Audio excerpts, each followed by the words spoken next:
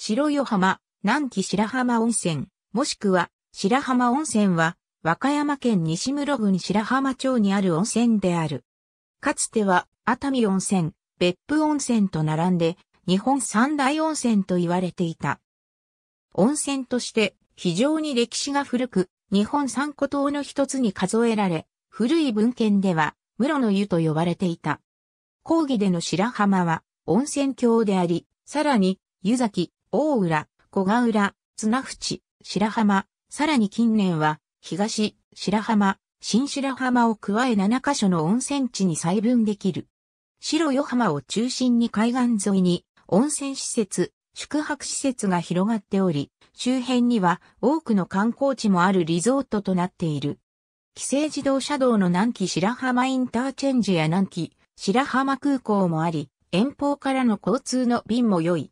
日本初期に当時の歴代天皇が訪れたことが記載されている日本屈指の孤島である。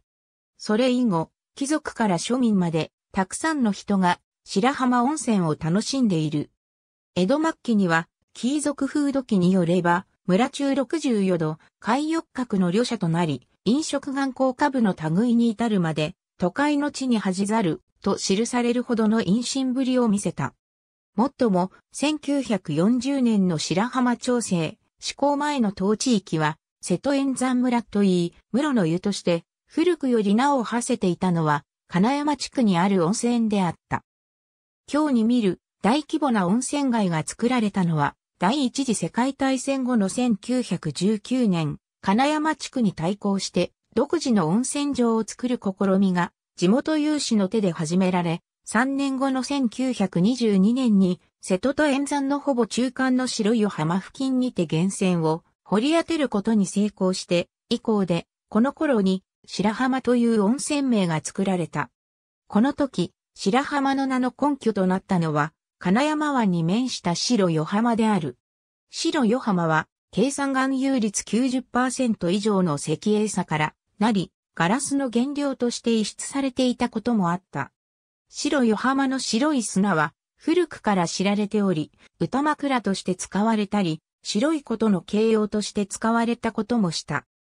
この後、白浜の名は、当時の商船会社が、白浜温泉の名で温泉の宣伝に努めたことや、温泉開発に当たった会社が1923年に改めて白浜温泉自動車株式会社を名乗ったことに加えて1929年の昭和天皇の白浜行幸によって全国に報じられたことで定着が進んでいった。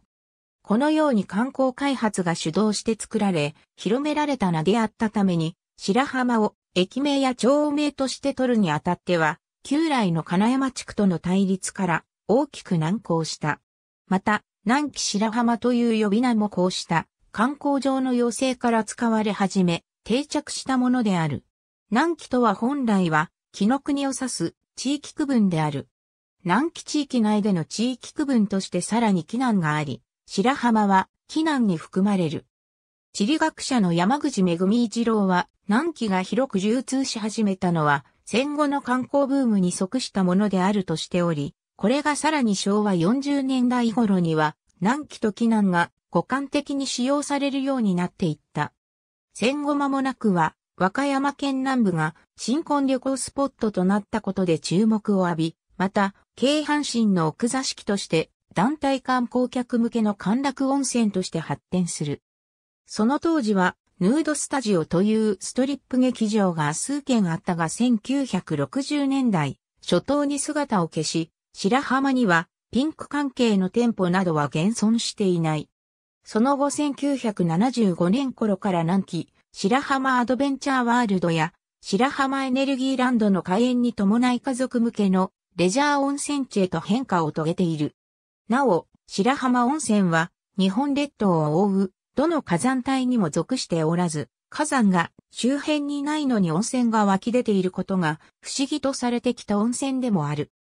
ところが、近年の調査で白浜、有馬などの一帯の高温を吹き出す温泉は火山性の温泉ではなく、フィリピン海から潜り込んだプレートから進出した高温の地下水が滞留しているものであることが各燃料サイクル開発機構より研究報告された。胃腸病、神経痛、リウマチなど効能は万人に効果を保証するものではない。白湯浜の北部、中央が白湯湯白湯浜沿いの南部には大規模なホテルが林立しているが、温泉街には民宿や旅館などもある。ほとんどの宿泊施設は浴室に温泉を引いているが、温泉施設のみの共同浴場や料亭、オートキャンプ場の中に温泉を併設したとした施設も見られる。大きなホテルや旅館では有料で温泉のみの利用もできる。